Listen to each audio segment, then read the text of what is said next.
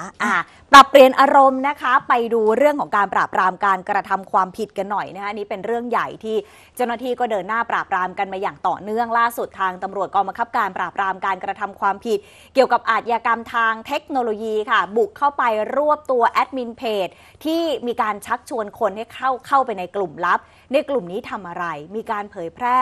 คลิปลามกอนาจารแล้วก็มียอดผู้ติดตามเกือบ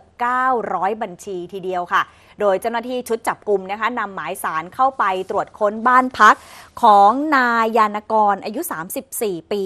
หลังสืบทราบว่าเป็นผู้ใช้ Facebook ที่มีการโพสต์ข้อความโฆษณาชักชวนให้สมัครสมาชิกเข้ากลุ่มลับในแอปหนึ่งนะคะ คือสมาชิกถ้าจะเข้ากลุ่มนี้เนี่ยจะต้องเสียค่าเข้าคนละ 200 บาท ด้วยการโอนเงินเข้าบัญชีของนายยนกรค่ะ จากนั้นก็จะดึงเข้ากลุ่มลับเฉพาะมียอดผู้ติดตามอยู่